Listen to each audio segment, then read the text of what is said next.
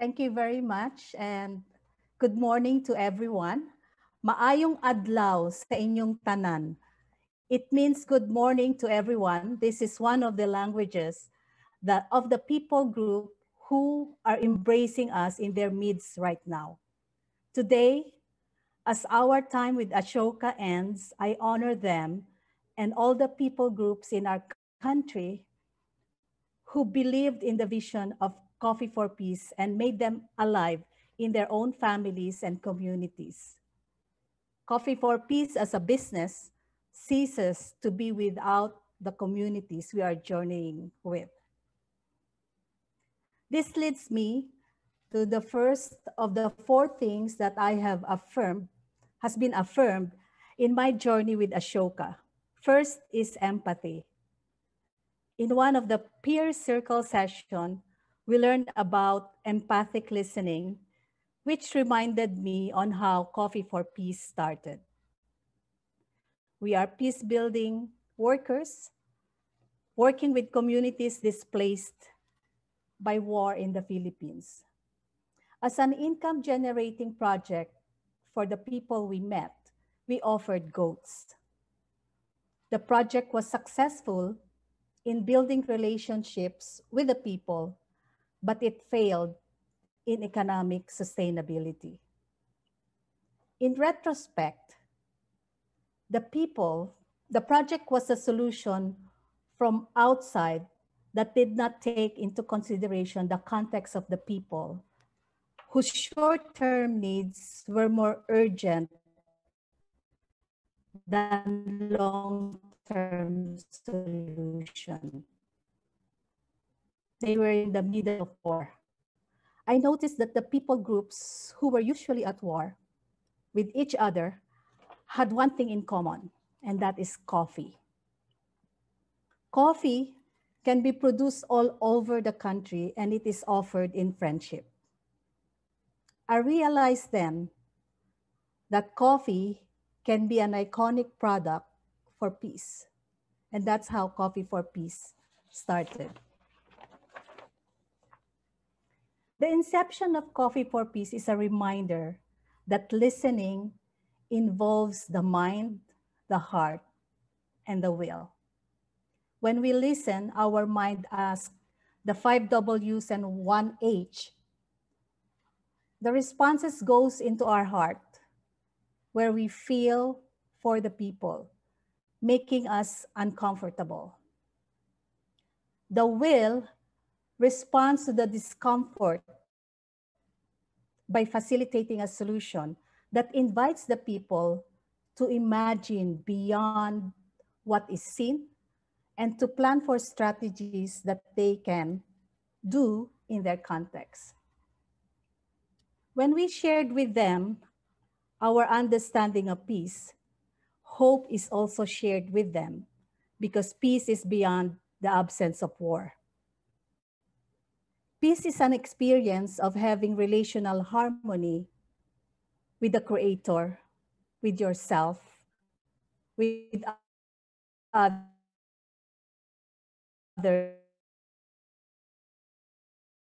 Peace resonates with the people.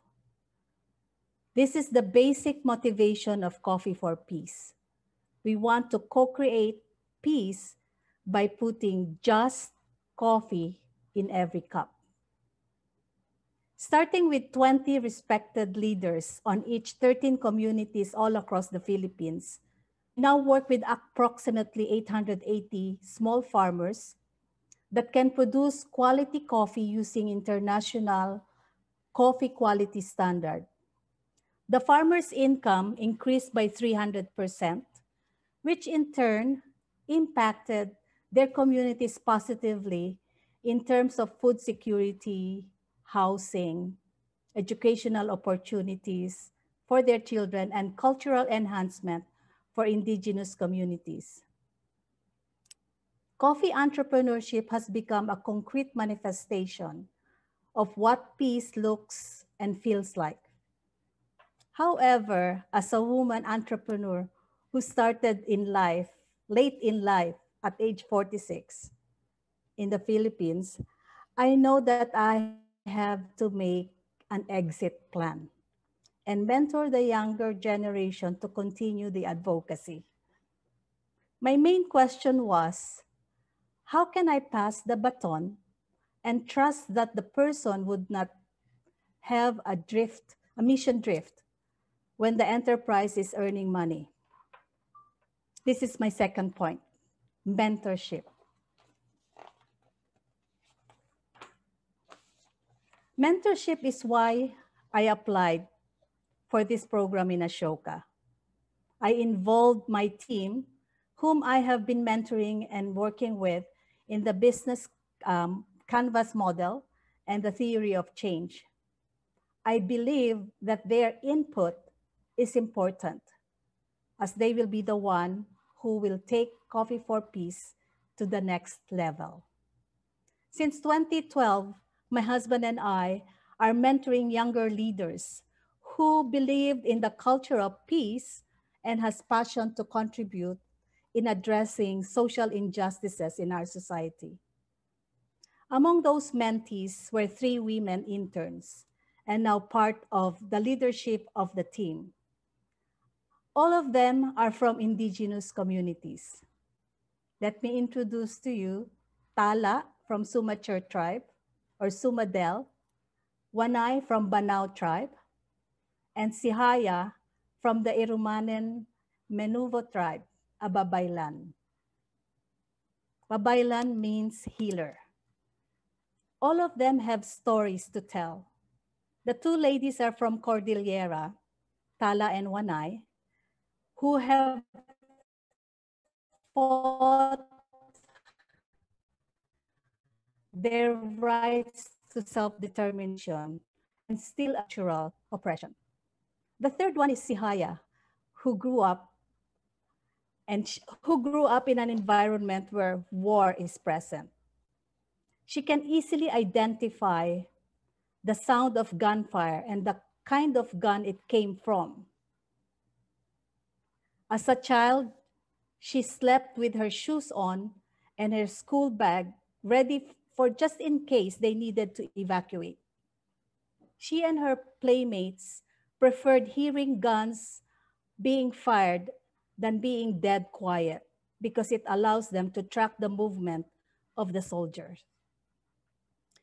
These three women know how it is to be marginalized as a people group and how it is to be neglected by government. It is from this experience that they are effective leaders. They have been through it. For them, it is a question of, is peace possible? My answer to that is a resounding yes. Peace is possible, but it entails collaboration. Collaboration is my third point. Social entrepreneurship helps in making peace possible, but being a social entrepreneur also means being a community development worker. A social entrepreneur has several stakeholders to take care of. One is the supplier, the employees, the distributor, the investor, and the customer. In CFP's context, we aim that our relationship with these stakeholders are in the framework of peace. Giving attention to all five stakeholders needs a good management skill and collaboration on our part. This is where we seek, see, and seize opportunities that will help us achieve our vision that we are dreaming of. It is important to collaborate because we cannot give solution alone. This was validated when Rico Gonzalez and Shihan Lee shared about fundraising and financing in one of our sessions. Sometimes we do not need to reinvent the wheel, especially if it's not our expertise. Which brings me to my last point, self-mastery. We have to know ourselves. what we are good at, where do we lack skill? Why do we do what we what we do? Is it worth it? Aside from self-assessment, self-mastery also means giving ourselves a break and listening to our bodies. It welcomes cocooning, wherein we experience isolation and seemingly death. It's just like the butterfly who goes into the metamorphosis from being a cocoon to a very beautiful butterfly. One of my mentees shared a picture of cocoon of a monarch butterfly. It has green and gold dots, jade green and gold dots. The cocoon is very beautiful and my mentee enjoyed looking it, at it so much.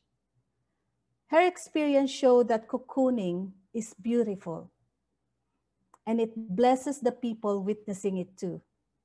I hope that we are comfortable in this stage and know that we are contributing to the world even when we are at rest.